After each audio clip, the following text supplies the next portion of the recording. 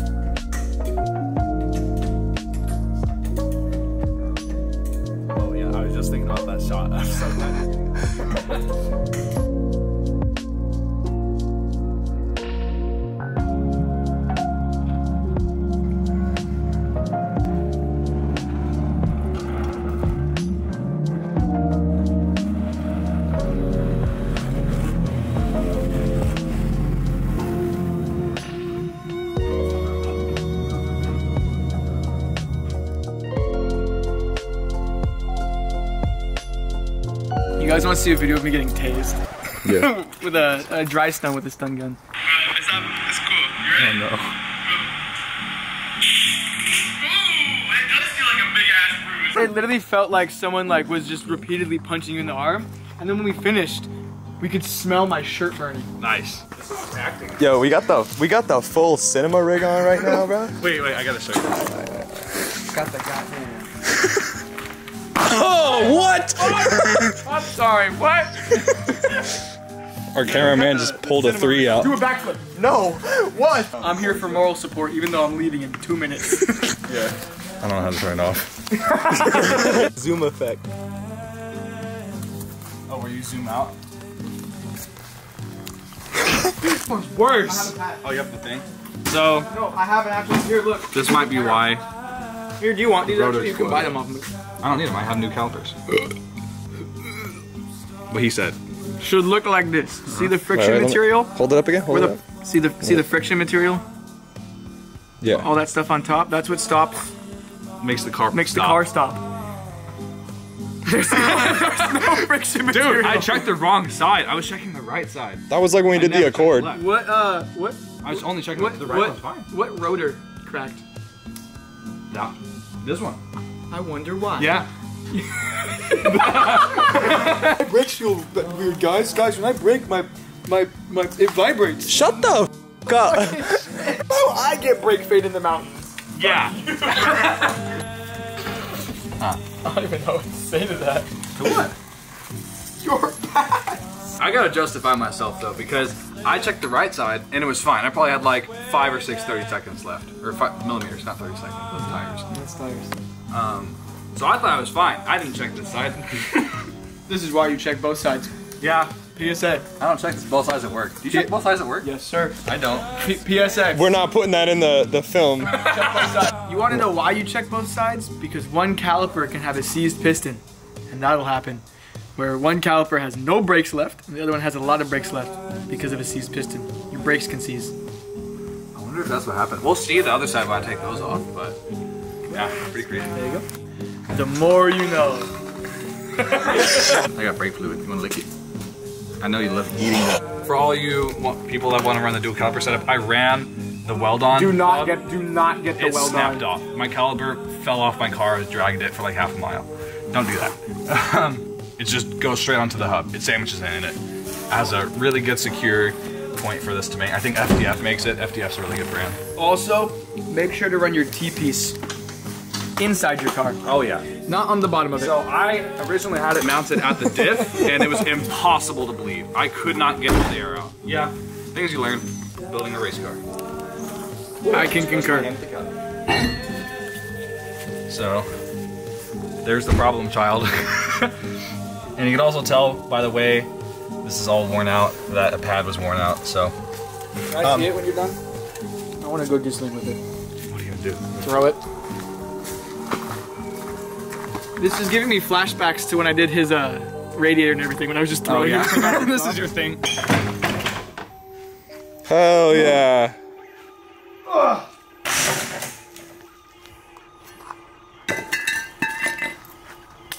Would not focus on that. Aw.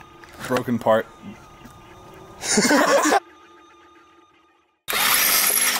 That's like the number one thing people ask me about this car is how how, how big is that spacer, bro? Someone thought I was stacking spacers. Even the guy I bought the brakes from in Morgan Hill was like, that was the first thing he noticed too. Oop, dropped my nuts. Hub centric, bolted in. Nothing's going anywhere. Nothing's falling off. You did that so fast for me to try to focus on. Oh, See, it's like right here. to everyone that's giving me a bunch of crap for running a spacer this big, 75 mil, 10 and a half inch wheel. It's still tucked. So, to everyone who hates this so much, you can buy me some three piece wheels. Because that's the only way we will not run this. I need a negative 53 offset. So, if you can find a wheel in that price range, send it to me. Instagram, right here, send it to me. Instagram, right on him. So here's the uh, the hub I was talking about. See, it literally just sandwiches in between the that thing and this thing. FDF, good brand. Please sponsor me. This is also a more aggressive compound too, so it should help with braking power. But I've never assembled that before. Oh god. I just pull the pin out. I will, I will, I will help momentarily, and then I will, I will disappear, and you will never know I was here. Never done this. Okay, here. I Oh, also, I want to point this out real quick. See this cut brake well, uh, maybe don't expose the guy you bought them Marketplace. Uh, we went to Oakland, which is an interesting place. People know if, what Oakland if people, no, not everyone. People that aren't in California don't know Oakland. Maybe do. No, they do. They should. People, everyone in California, So you were in Oakland. we were in Oakland, in the ghetto, and we bought these brake lines, these these nice looking calipers with cut brake lines. So these might be stolen. so whoever uh, G37S these were He stolen did it. of, I'm sorry. It, uh, don't come after me because I just bought them. I, I stole them. We're supposed to tell them that. Hello. We good? Yeah. So for most fixed brake applications, it's two slide pins that go across that hold a spring that hold the ca- uh, brake pads in place. So all you have to do is get something in here, pull these pins out. There's one. There's two. Once those pins are out, you can hit the slide pin from the other side. Like that and then you just gotta get it out. It's a little tricky because it is a spring, and these are pretty rusted. So make sure to hit these with a grinder or like a wire brush and clean these up. Pull them both out. Spring pops out like that. The pads fold in on each other like that, and they just slide out through the top, just like that. And then to compress these because you can't really get like anything in there to do it. What you can do is it's easier on the car, but you take an old pad, put it up against the piston. You get your something to pry with, close it yourself. Like that. There's one side fully compressed, and there is now brake fluid on my pants. Womp womp. Guys, He pissed a little. I pissed myself. I peed. Same thing for the other side. Take the old pad, put it up against there, get something to pry it open with, and just Piss. Okay. So that is how you do. Um, Bro, we have a bathroom in the house. Come on. it smells so bad. You versus the guy who tells you not to worry about. So these inky dinky little rotors, they look so small, especially with 19s on. Like actually you can kind of see how tiny this filled this whole wheel well as well as running in the rear. It's gonna feel a lot nicer now with this huge rotor. And then this is just the rear. The fronts are even bigger from what I remember, right?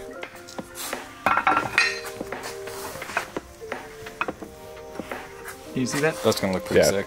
That is.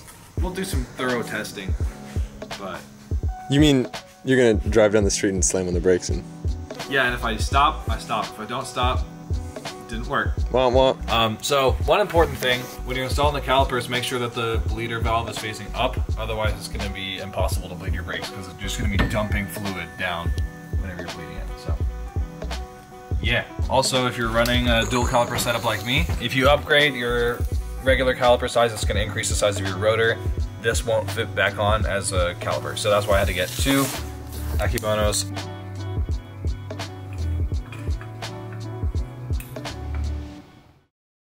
All right, Caleb's not here to film this, but um, I kind of just wanted to show where I'm at right now with the brakes. I've made this contraption, first of all, which is very safe and OSHA approved. Using this just kind of to paint the calipers. So I put everything together on the left side, uh, just kind of see how it goes. Went pretty smooth. I'm going to show you right now on the other side, a little bit more of a detailed explanation. So far, I'm really happy with the choice of yellow. I think this really pops with the color of the car. Now onto the other side. When you take your caliper off, just make sure to secure it so it doesn't rest on the brake line. So then you take off the actual brake line itself right here. On the back of the caliper, it's either 12 or 14. Then you have your um, adapter bracket. I bought mine from CZP and it just sits right in place right there. Then you get the longest bolt that they give you with this weird shaped spacer thing. You get your locking washer, you put it on the bolt, then this on top. Now what this does is it helps the caliper to sit in place, giving it kind of a resting point. So you're gonna thread this in and then set your new caliper on and then adjust where it should be. So once you have this threaded in most of the way and we can still turn it, you just line this caliper up and bolt it in. Then once you have this all lined up, should look something like this. You'll have your bolt here, your two copper bolts. You don't need to thread them in all the way, just kind of just to get an idea of where this will end up. And then the shortest bolt goes right in here. And I like to bolt this into just so I can, you know, be sure that everything is solid. You tighten this down while the caliper is still on here because this will spin if you're tightening it when it's not here. Tighten this down as much as you can. Um, you could also use some blue Loctite and then uh, blue Loctite on this one as well. I wouldn't say you need to use Loctite on the caliper bolts. It's up to you, really.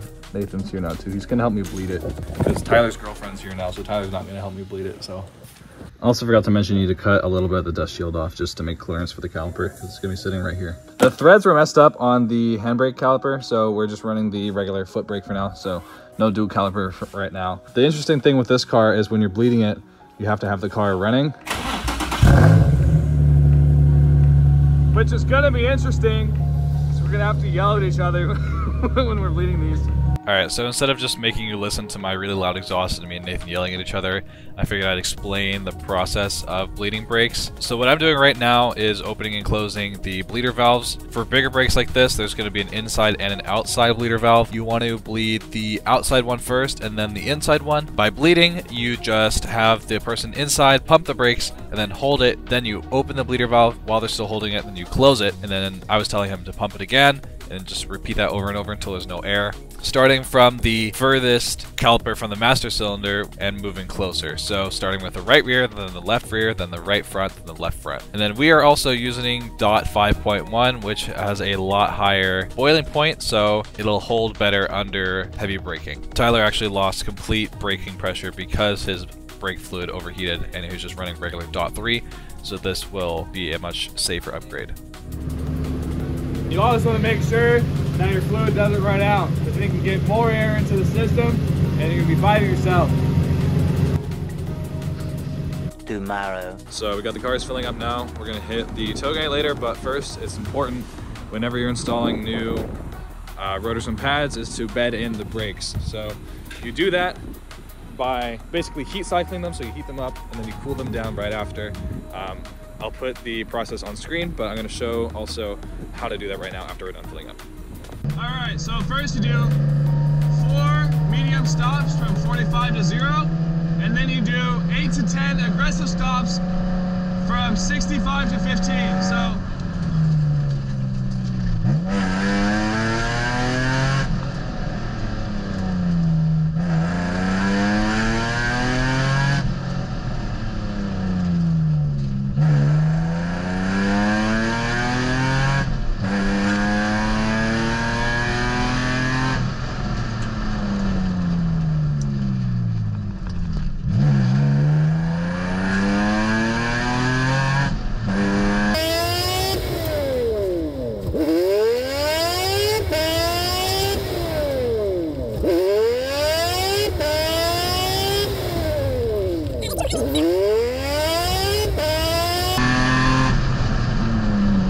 Oh! Alright, they pulled a lot to the left there, so I'm gonna let him cool down a little bit. So now, the objective of that is to get the rotors really hot. So now they're hot because they're pulling. So now you just want to let it cool down.